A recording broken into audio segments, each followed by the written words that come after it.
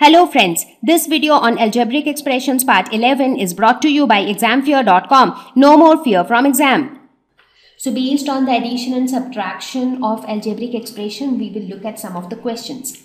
Question number 1. What should be added to x square plus xy plus y square to obtain 2x square plus 3xy? So in this question, we have to find out, let's say this is one expression which is given. So what is that expression which should be added to this expression such that the result is 2x square plus 3xy. So you basically need to find out this question mark that is this expression. So in order to find out this expression what you would do you just move this entire algebraic expression towards this side. And we know that whenever we transpose a value whether we transpose a constant or a variable from one side to another the sign changes. That means if we are trying to find out the value of this question mark then this is going to be equal to 2x square plus 3xy which is this term minus x square plus xy plus y square. That's because on the left hand side this had a positive sign. The moment you shift it to the right hand side this would carry a negative sign. So therefore we basically need to find out the difference between these two expressions. So let's rearrange them 2x square plus 3xy minus x square minus xy minus y square. Now let's collect the like terms together that is 2x square minus x square together plus 3xy minus xy this together minus y square. So 2x square minus 1x square. So 2 minus 1 is 1. So this would be 1x square plus 3xy minus 1xy. So 3 minus 1 is 2. So this would be 2xy minus y square. So x square plus 2xy minus y square would be the answer. Question number 2.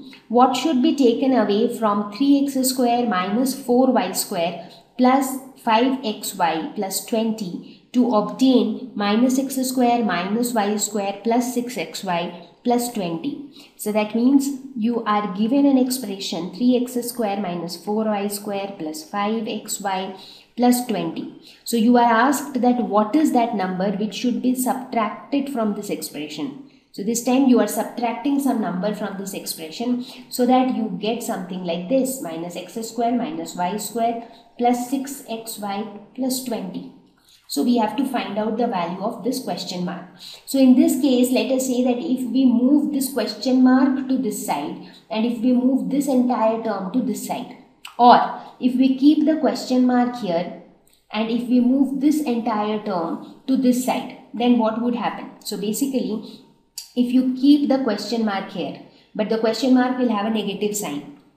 And if you shift this entire term so this entire term has a plus sign when it is on the left hand side but the moment we will shift it to the right hand side what would happen? The plus sign would get changed to the minus sign. So this would be minus 3x square minus 4y square plus 5xy plus 20 but this would be minus question mark. But we need to find out the value of the question mark. So that means you need to shift this minus sign also this side. So the moment you shift this minus side here what happens? The result the the sign of the result also changes. Correct? So what happens? So let us assume if we assume that this entire value is a and this entire value is b. Let us assume that. So that means we had a minus b on the right hand side. But the moment you shift this negative sign this side, so you get minus a minus b which is equal to minus a plus b. So basically a minus b becomes b minus a. So in this case that is what we need to find out. So we basically need to find out b minus a. So b is 3x square minus 4y square plus 5xy plus 20. This entire thing minus minus x square minus y square plus 6y plus 20. So let us rearrange the terms by opening the brackets. So we get 3x square minus 4y square plus 5xy plus 20 plus x square plus y square minus 6xy minus 20. So let us collect all the x square terms together. 3x square plus x square minus 4y square plus y square.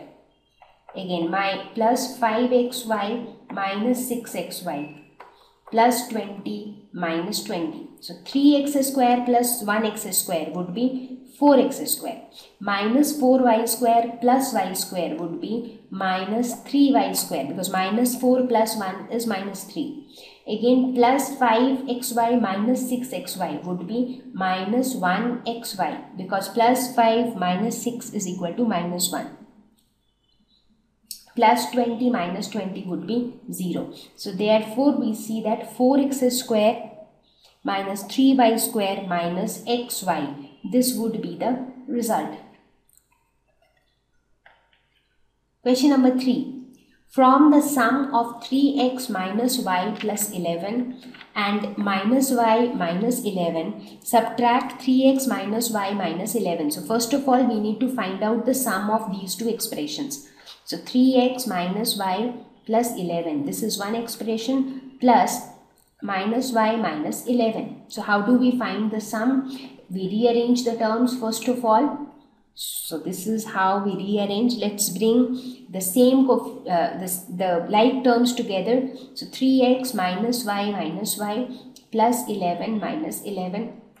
So this would be equal to 3x minus y minus y would be minus 2y plus 11 minus 11 would be 0. So 3x minus 2y would be the sum. Now what we have to do from this sum we need to subtract 3x minus y minus 11. So this was the first part. So in the second part what we do from the sum that we get which is 3x minus 2y we subtract 3x minus y minus 11. So here also let's rearrange the terms so we get 3x minus 2y minus 3x plus y plus 11. So therefore here again you place the like terms together 3x minus 3x minus 2y plus y plus 11. So 3 plus 3x minus 3x would be equal to 0 minus 2y plus y that would be minus y plus 11. So 11 minus y would be the final answer.